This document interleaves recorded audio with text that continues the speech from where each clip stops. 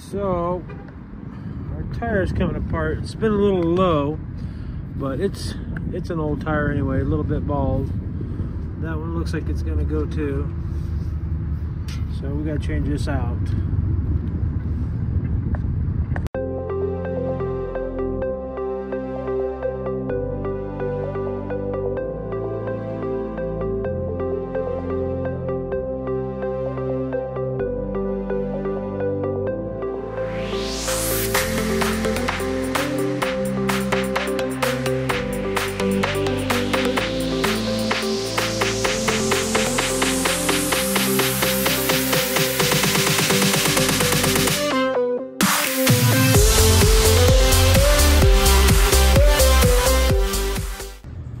All changed, but I noticed this one is also looking bad.